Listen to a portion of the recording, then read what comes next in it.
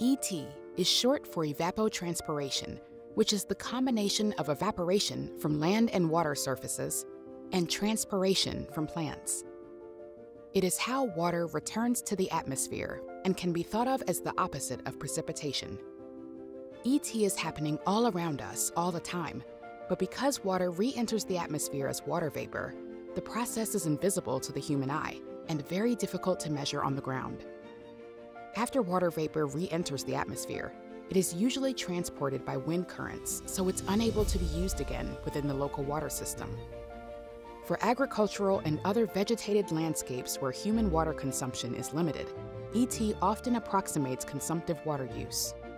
Of the water that falls on or is applied to the landscape, 40 to 100% will leave as ET. Because of this, ET data can be used by farmers and water managers to create accurate water budgets at farm, water district, and watershed scales.